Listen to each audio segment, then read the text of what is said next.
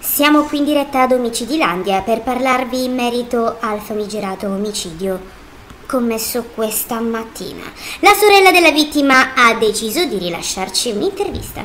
No, Buonasera. Veramente non ho deciso di rilasciare. Signora, mi dica, ma secondo lei chi ha ucciso sua sorella? No, no, no, non lo so, non lo so, non lo so. Mm, Quindi lei mi sta dicendo che già pensa che ci sia un colpevole, già No, l'ha no, identificato? no, non lo so, non lo Eh, so. potrebbe darsi che sia stato suo padre, cosa ne pensa? Non penso, no, non lo so. Ah, quindi lei di- sta dicendo che pensa che è stato suo padre a uccidere sua so. sorella? No, no, non lo so, non lo so. Sconvolgente! La signora ha appena dichiarato che il padre ha ucciso sua sorella! Non è vero, se ne vada! Ma quindi lei ha visto il cadavere? Sua sorella in che condizioni era? Aveva la testa? Non ho visto niente, se ne! Non ci sono più gli omicidi di una volta. Passiamo adesso alla prossima notizia. Dipendenti costretti a mangiare zucche amare davanti ai loro colleghi se non raggiungono gli obiettivi di vendita. La zucca amara, diffusa in Asia e in Africa, ha un sapore molto amaro, come il nome lascia eh, facilmente intendere, ed in Italia viene utilizzata per preparare la famosissima eh, parmigiana di melenzane.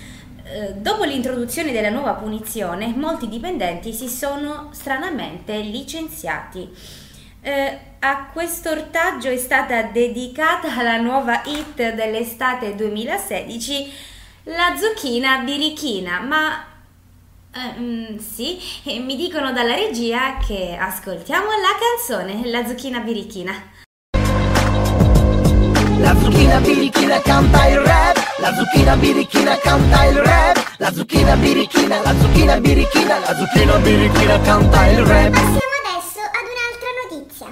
Volto di una bellissima fotomodella americana rovinato da un grosso fungo spuntatole sul naso. La donna sarà costretta a non sfilare per almeno 100 anni.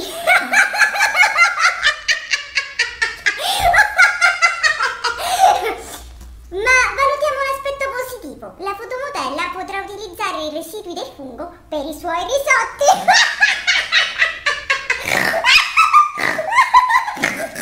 Passiamo adesso a una notizia sui ragazzi de Il Volo. Il giovane Gianluca Ginoble sposerà la tap del tap Jessica Salmeri e il bellissimo Piero Barone convolerà a nozze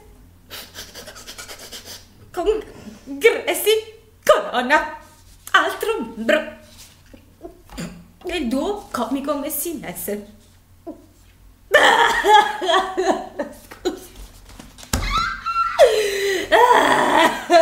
Scusate. È che io adoro i ragazzi del mondo. Scusate.